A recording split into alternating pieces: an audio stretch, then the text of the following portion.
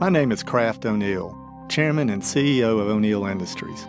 I grew up in the steel business and have had the opportunity to witness the many changes and advances in our industry and company. It's quite impressive how our company has navigated the challenges and opportunities it has faced over its nearly 100 year history. Without the efforts, support, and dedication of our employees, customers, suppliers, and shareholders, our company would not be the success it is today. Some of our roots can be traced back to 1921 when my grandfather, Kirkman O'Neal, founded what would eventually become O'Neal Steel. But our story starts even further back with my great great grandfather, Edward O'Neal, and his son, Emmett O'Neal. These men played prominent roles in the development of the state of Alabama as presidents of the State Bar Association, framers of the state constitution, presidential electors, and as father son governors. Before being elected governor in 1882, Edward O'Neal was a Confederate officer in the Civil War and rose to the rank of brigadier general. He led regiments and brigades in some of the war's most famous battles, including Chancellorsville and Gettysburg. Edward's son, Emmett, played a key role in the development of the steel industry in Alabama and the South. Many believe his 1911 speech to the Chamber of Commerce of the state of New York was the meeting that made Birmingham.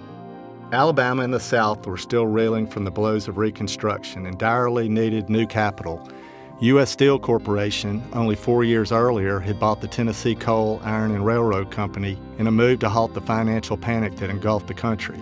Now, four years later, money was needed to expand and develop or get out. At the conclusion of Governor Emmett O'Neal's talk, as he sat down, J.P. Morgan, who was seated next to him at the head table, said, You have set your state ahead by 25 years. We're going ahead with our improvements in Birmingham. Morgan spoke for U.S. Steel in those days. His was the final word. The governor set wonderful examples of hard work and perseverance for future generations to follow. My grandfather's life's work was equally impressive. He was among the class of 106 to graduate from the U.S. Naval Academy in 1913. He served as senior lieutenant in the U.S. Navy during World War I from 1917 to 1919 and was on active duty in the North Atlantic Ocean and the Mediterranean areas. His career began in the shipyards of U.S. Steel and then Ingalls Iron Works, gaining invaluable experience in metal fabrication before deciding to strike out on his own. In 1921, my grandfather saw an ad in the Sunday paper of a little fabrication shop at the west end of Birmingham that was just starting and was looking for additional capital. He borrowed $2,000 to invest in Southern Steel Works, an upstart fabrication business. He later bought out his partners and began to build a business that would become O'Neal Steel. The company thrived, building a strong customer base, and then the Great Depression hit. My grandfather downsized and eked out an existence, deciding to share the profits equally among employees. It would have been easy for him to turn everything over to creditors and start over, but he decided to stick it out. His determination paid off, and as business conditions improved, the company's fortunes did as well. In 1937, Southern Steel Works added a steel distribution division, one of the first in the South. And in 1939, the government began spending money in anticipation of war with Germany, and the economy in O'Neal grew even stronger. By 1940, steel was getting more difficult to obtain due to the prospect of war. Southern Steel received large orders for fabricated steel for buildings at Army and Navy bases and a 16,000 ton dry dock for the Navy. By the time Pearl Harbor was bombed by the Japanese on December 7, 1941, my grandfather had already drawn plans for a new modern plant to be erected on the east side of Birmingham. It would take all America had to offer in manpower and industrial output to hold our own in the two front war. Thus, my grandfather requested permission to build the plant to furnish war materials to the armed forces and was given top priority to move ahead. Ground was broken on May 2, 1942, and within six months, shipment of 100 pound general purpose bombs began, and the company received orders for superstructures and gun platforms as well. By the time the war ended in August 1945, Southern Steel Works employed over 1,300 men and women, producing not only many types of fabrications for the war effort, but bomb production had grown to over 60,000 per month, double what any other plant in the country was making. For its outstanding excellence in performance of production, the U.S. government awarded the company E Awards in 1943 and 1945. Kirkman's son and my father Emmett, following a duty as Navy lieutenant during World War II, joined the company in 1946. The next several decades would encompass significant change and steady growth, including a name change in 1956 to O'Neal Steel, and my father becoming president in 1959 and expanding the company throughout the Southeast. The fabrication business was closed in 1969 to focus the company solely on metal distribution. By the 1980s, the company blanketed the Southeast and it was time to expand into other regions of the country. In 1985, just three years before my grandfather's death at age 98, the company made its most important acquisition to date, purchasing Shelby Steel, a strong regional distributor and processor headquartered in Shelbyville, Indiana.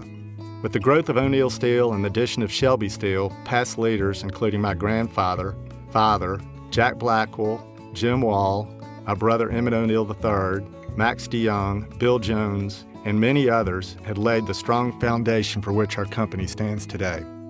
My father was a strong believer in growth and said, The future of our company is now and always will be about growth and productive changes. At the same time, we must hold fast to our basic values like integrity and commitment to excellence that we've had since my father founded this company in 1921. Growth continued into the 90s with the 1997 acquisition of Metal West, headquartered in Denver, being the company's first standalone subsidiary. Acquiring successful companies within the industry with similar cultures, matching values, strong employee and management teams, offering complementary products and services seem to make perfect sense. Our strategy of profitable growth with diversification and expansion in products, industries, and geography would position us to capitalize on the many opportunities we would be afforded in the coming years, including O'Neal DeMeco, our first business outside the United States, opened in 1998. At the time of my father's unexpected death in 2004, we were closing on Aerodyne Alloys, our first acquisition into high value nickel, cobalt, and titanium primarily for the aerospace, medical, and power generation markets. Diversification would continue with the 2005 acquisition of TW Metals, the largest acquisition in our company's history, expanding our geographic reach worldwide, followed by the acquisitions of several more global specialty metals companies, including what is now known as United Performance Metals, and extending our global reach even further. Additionally, the acquisition of Supply Dynamics provided us with a unique offering of material aggregation software for OEM customers across industries. This broadening into higher value products sold into new markets, as well as the addition of strong traditional businesses such as plate juggernaut Leeco Steel, has proven to be an effective strategy, reducing volatility in our performance during economic cycles.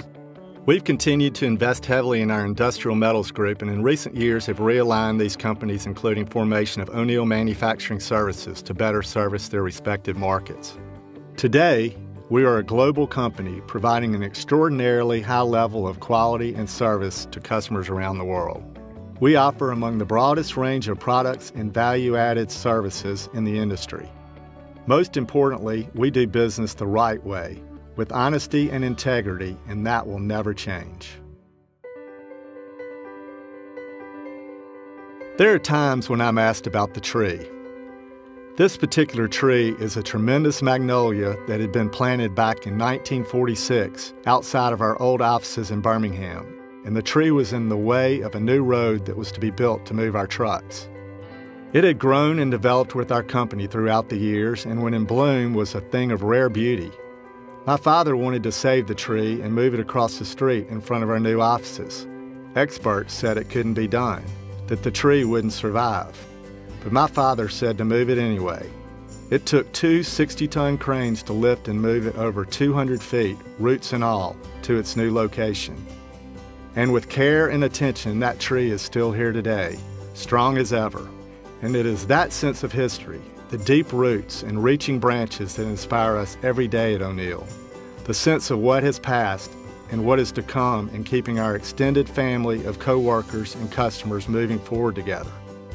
My grandfather had a Latin phrase he liked to use, difficultas ne deterrem, which means difficulties do not deter us, and they don't. At O'Neal, we are still small enough to treat you like family, but big enough to get the job done.